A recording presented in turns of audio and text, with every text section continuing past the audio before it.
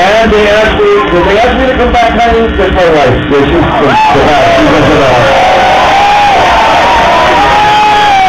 She don't let me look anymore. She don't let me do anything anymore. She's, she's the, the manager and agent and everything else like that.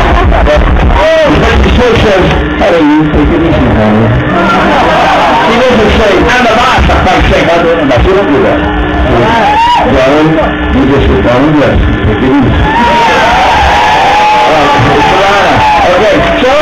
Us to come back, right?